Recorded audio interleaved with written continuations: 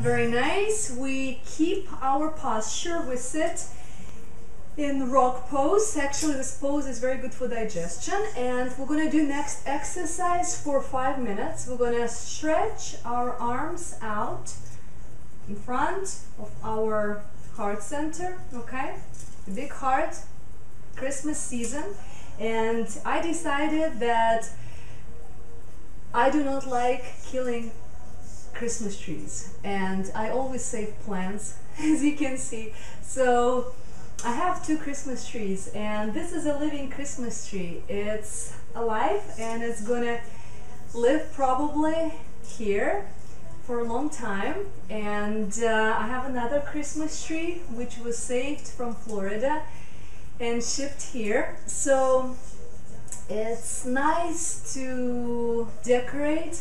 I think some plants at home and do not buy Christmas trees which are killed because it's such a sad thing to see a whole bunch of killed Christmas trees actually. They live by water only and they're not alive anymore. Tiny little Christmas trees, beautiful, so nice, you know, so fresh and they all are killed just for what? For five days, ten days, maybe a month of Christmas season, and then all of them are stuck in the garbage. It's such disrespect to nature. It's such disrespect to Christmas tree even. We decorate, we pamper the tree, and it's not alive. It's killed. And we celebrate like Turkey Day, right? Like Thanksgiving. Thanksgiving for what? For killing so many birds? For killing so many sentient beings and this is tradition of our century. I celebrate thanksgiving giving thanks for life by killing life taking life of so many birds. It doesn't make sense. The whole holiday lost its meaning. The meaning is beautiful. It's just the actions what people do they do not make sense anymore consciously you don't do things like this. But some people and sometimes we all live by old traditions. We do not think. We just follow tradition which doesn't make sense anymore. We have evolved so much. Our consciousness has evolved so much. We're entering the age of aquarius. My god the computer technology everything. And we're still killing so many animals so many birds and praise God with that by eating somebody's flesh. They didn't ask us to kill them. In fact, they were suffering so much. These things do not make sense to me. Also, Christmas season. We praise the Christmas tree. We decorate Christmas tree. And it's been killed.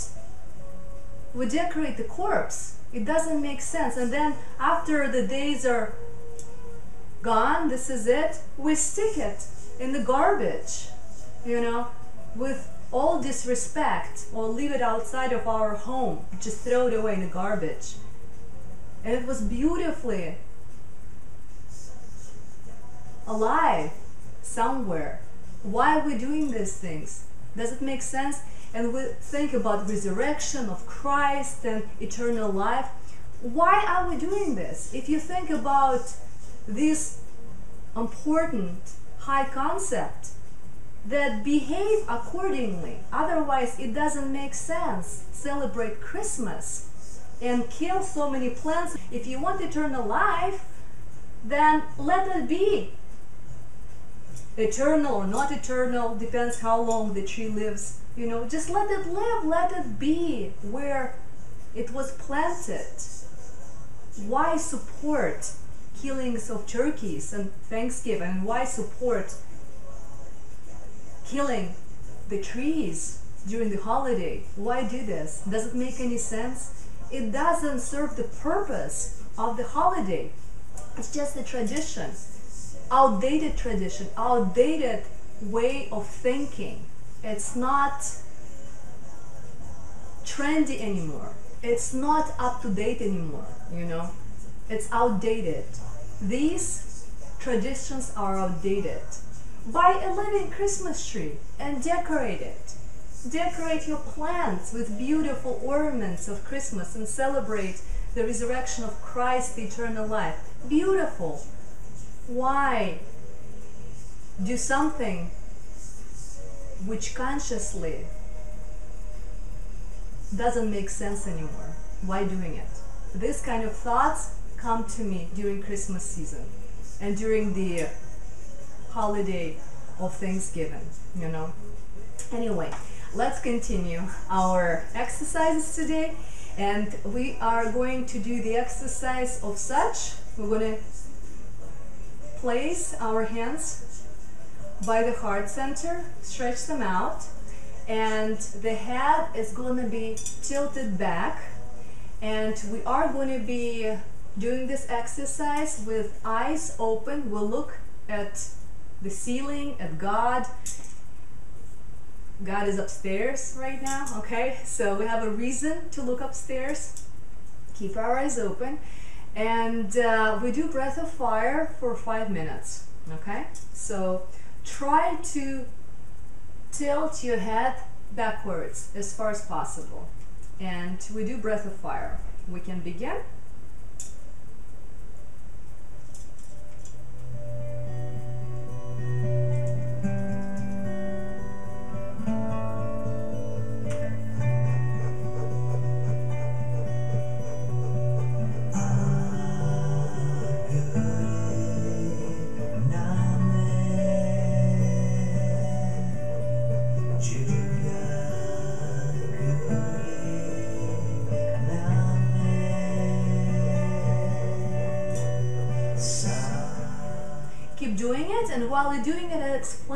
Something which came to my mind some realization come to my mind occasionally during yoga.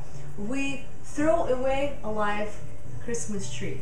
We throw away this. We throw away friendship of people. We throw away good relation towards us of somebody. We throw away many things. We use them and we throw away. What kind of consciousness is that. That's the way we live life. When we use doubt the situation, use doubt the person, his services, we throw him away. We throw him in the garbage. I don't need to talk to you anymore. I don't, I don't need to associate with you anymore. I don't need you anymore. I've used you and now I'm throwing you away. The same way we throw away Christmas tree. We pamper them. We say like blessings and just think of the Christmas tree is like the biggest, the most beautiful event in our household during season. And then we throw it in the garbage. The symbol which we were praising so much, this is the way we operate. That's how we operate. We have to think deep inside ourselves. Is it very conscious? Is it very heart, heart-oriented, altruistic. What kind of behavior is that? What kind of life is that? To use it, praise it, and then put in the garbage with all disrespect. We don't need it anymore, might as well. My God, where is the appreciation for symbol? Where is the appreciation for life? Where is the appreciation for God, for ourselves? Where is our respect for all this? Where is the appreciation? Where is the respect for all of this? Nowhere. We're cheap, cheap steaks, and our life is cheap, and our consciousness is low and cheap. That's what it is. That's all I can say, you know. Why behave like this? Doesn't make sense. Gotta upgrade the computer program, you know? Software.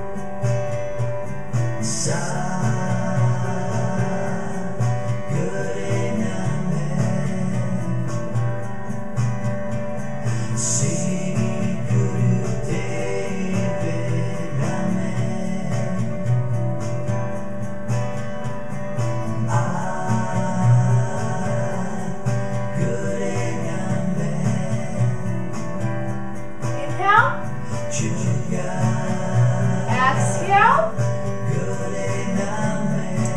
And very slowly we move our head down, just like this. We are going to be interlacing our fingers in Venus lock behind our back. And we do the exercise in this fashion. We have slight chin lock we have our arms straight and we do breath of fire and eyes and this exercise will be closed. If you feel like you've been sitting on your legs in this position for a long time and it feels funny, you can always massage your feet a little bit, massage your ankles so you feel comfort in next exercise.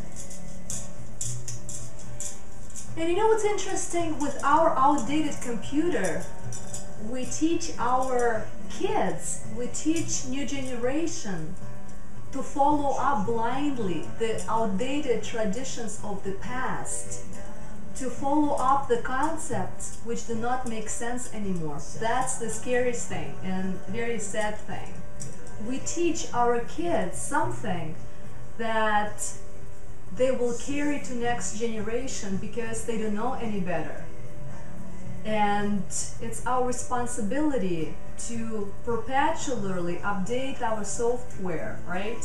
And pass to next generation some consciousness some conscious thoughts. That's our responsibility. Because when we're gone life in this body is gone. Soul departs. What's left? The kids are left the christmas trees are left turkeys are left sentient beings are left so let them be in peace, respect each other, you know, treat each other consciously.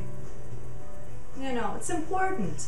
Yes, plants do not have much consciousness.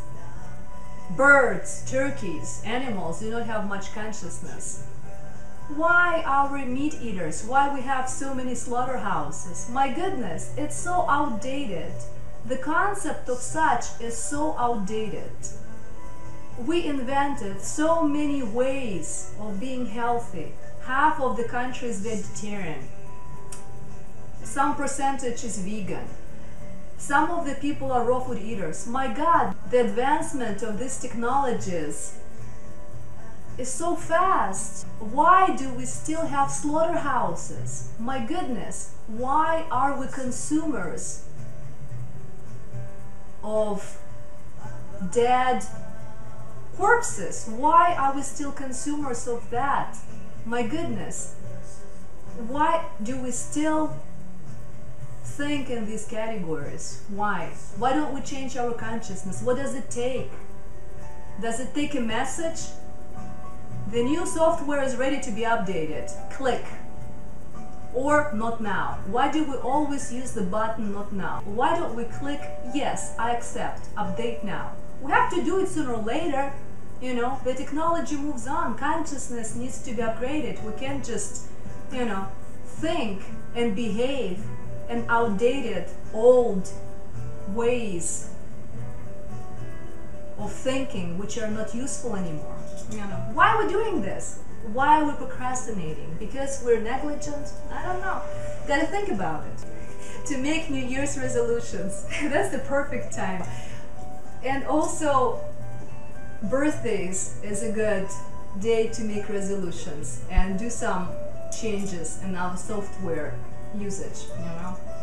Okay, so let's continue with our breath of fire. We can begin.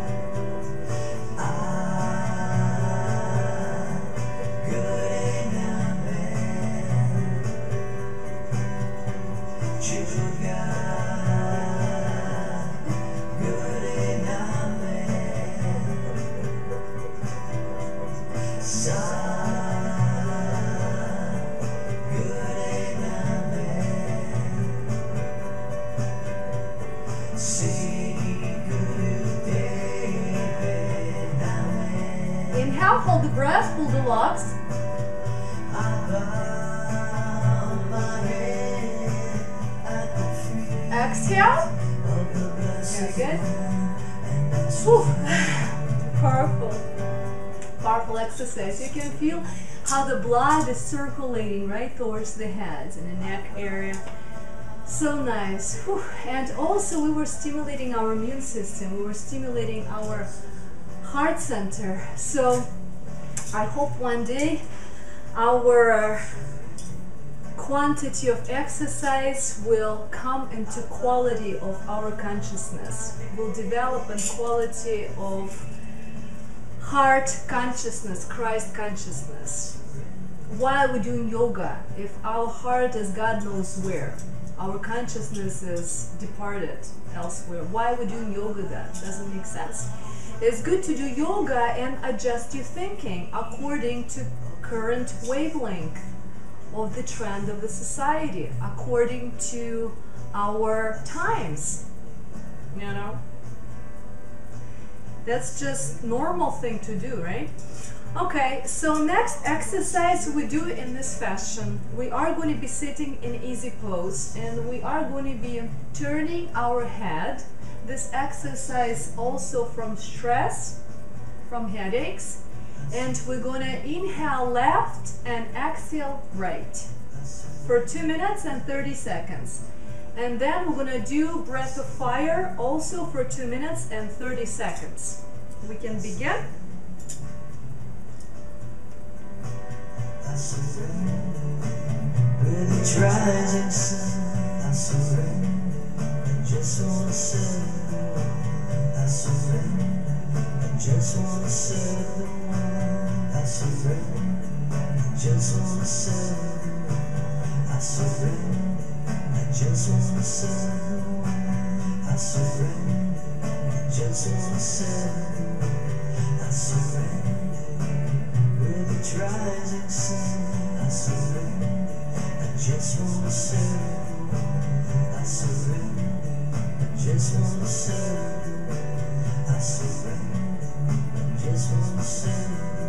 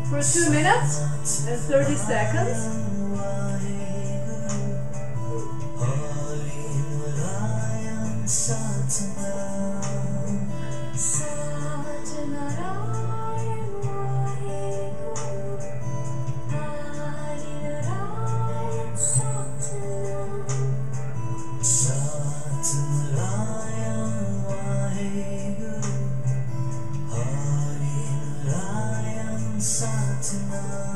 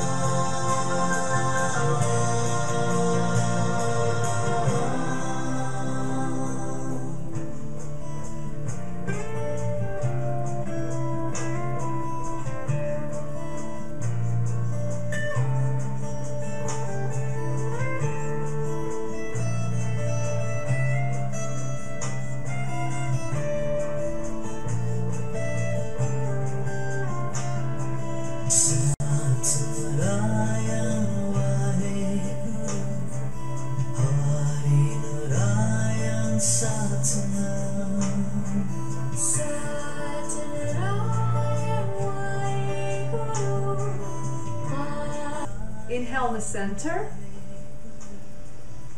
Hold the breath, pull the locks, move the energy up the spine. Through Sahasrara chakra, it goes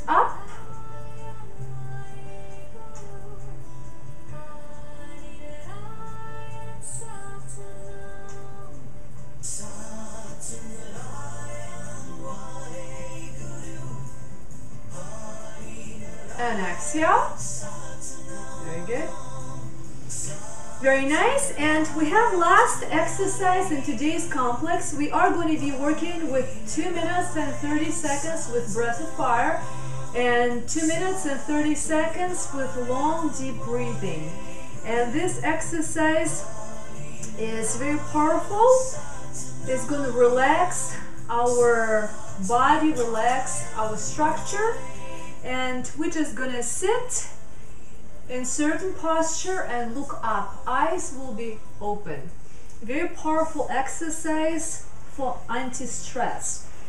And we usually get stressed out for the lack of consciousness we possess. That's what's happening. When we have lack of consciousness, the stress is being invited to our home, okay? When we are full in our consciousness, we are aware I don't think stress can be part of our lifestyle, honestly. So let's do the exercise for two minutes and a half with breath of fire. Our angle of the body is 45 degree and our head is tilted back just like this and we look up and we do breath of fire for two minutes and 30 seconds and afterwards, we're going to do long, deep breathing also through the rolled tongue for 2 minutes and 30 seconds. And this is our last exercise.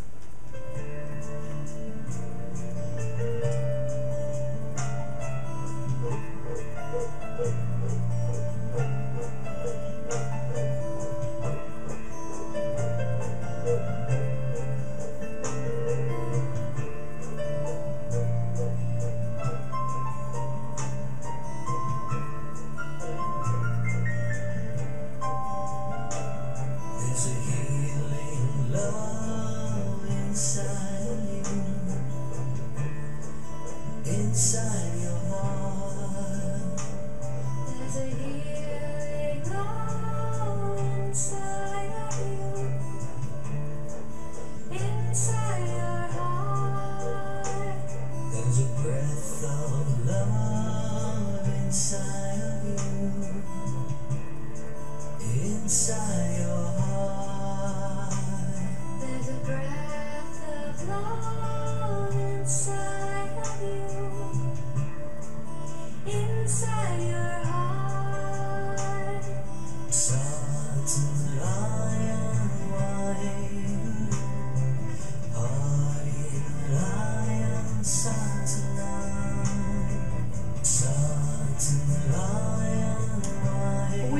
60 seconds left to go. And if it's hard for you, you can always switch to long, deep breathing during this exercise.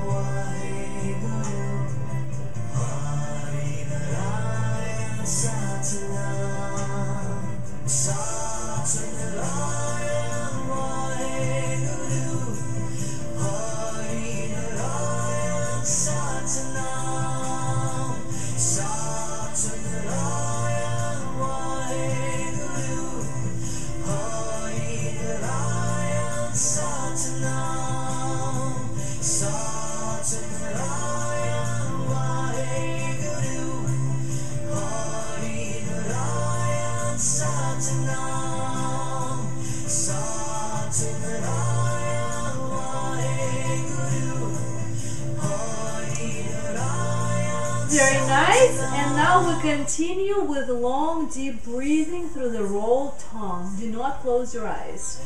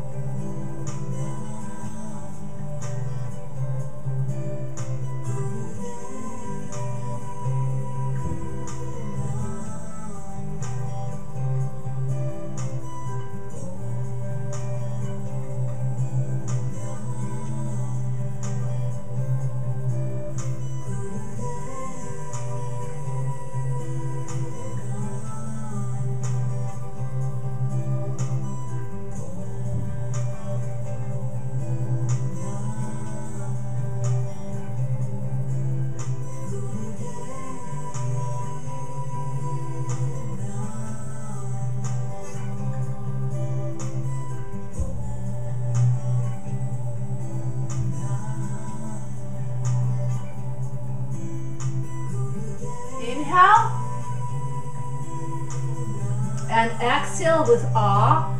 Ah. Okay. Very nice. Okay. Feel how great of a circulation you have established in the area of your neck and your brain.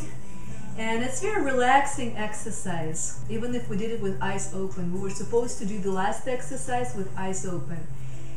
And it's beautiful. You can just look up, ponder over timeless wisdom. And what came to my mind is that we do not get stressed out from doing an activity in consciousness. We get tired from lack of consciousness, from unconscious thoughts, perception of reality, from unconscious actions. That's where the stress comes to play, okay? When we're in full consciousness doing something, we're just tired. But tiredness, it doesn't mean stress. We can be just tired of conscious activity, of conscious perception of reality. We see things clear. We perceive things as they are, more clear. We do not get tired of this. We do not get stressed out of it. We can get tired of long attention spin, right? But we may not accumulate toxic stress. We may not accumulate stress per se. So these are two different ways of being, of living, of operating. One is in consciousness, then we will just get tired by the end of the day. The other is when we are acting from unconscious perception of reality, we get stressed out. We because we perceive world upside down. We look at things in a strange way, not the way things are. And that causes us stress. Our misleading perception, our lack of consciousness, our lack of adequate perception of the situation, of the world, of understanding. We cannot understand things right when we have lack of consciousness in ourselves. We perceive things not the right way, and that's where the stress comes in our life, you know. That's it. The more we try to stay conscious, the less stress we have in our daily life.